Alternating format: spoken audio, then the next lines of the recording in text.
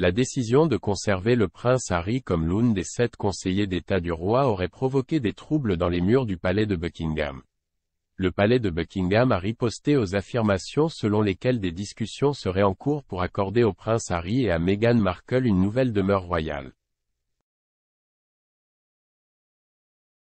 Le roi a pris la décision de garder son fils cadet comme l'une de ses conseillers d'État, les lois stipulant que les personnes choisies pour ce rôle doivent résider au Royaume-Uni. Des sources royales ont affirmé que des discussions étaient en cours afin de louer au couple une nouvelle maison pour se conformer à la loi, mais le palais a depuis démenti ces affirmations, affirmant qu'elles ne contenaient aucune vérité.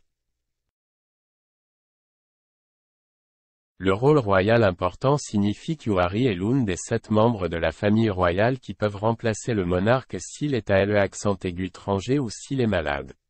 Bien qu'il se soit retiré des fonctions royales en 2020 et qu'il lui reste de nombreux privilèges, le roi a gardé son deuxième fils lié à ce rôle. Selon des sources royales, les courtisans auraient discuté de la location d'une propriété sur le domaine royal à Harry et Meghan. Pour tenter de résoudre le dilemme du conseiller d'État, un foyer leur a peut-être été proposé pour garantir le respect des lois entourant le règne royal.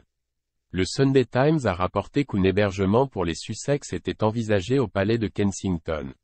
Cette suggestion a cependant été rejetée par le palais de Buckingham, un porte-parole déclarant simplement que ces affirmations étaient fausses.